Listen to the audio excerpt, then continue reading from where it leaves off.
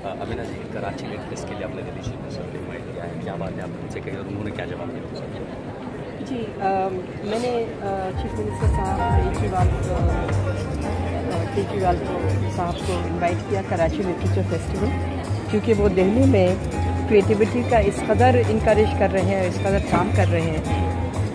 तो मैंने उनको दावत दी कि वो कराची आएँ और उनने कहा कि वो ज़रूर आएँगे।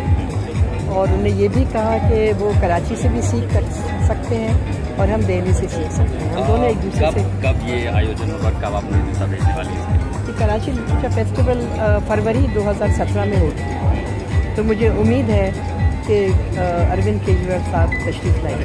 तो उन्होंने दे दिया। जी उन्होंने हामी तो भर ली और उम्मीद है कि ज़रूर तशरीफ़ लाएँगे। उन्होंने ये भी कहा कि ये हेडलाइन बन सकती है और इस पर विवाद उठेगा पाकिस्तान जाने को लेकर के जिस तरह इस समय दोनों देशों की रिश्ते चल रहे हैं। ये तो मैंने मतलब दो शहरों जो कराची और दिल्ली, दोनों दोनों करोड़ से ज़्यादा के शहर हैं, आबादियाँ हैं, और दोनों को एक दूसरे से शेयर करना चाहिए और सीखना चाहिए।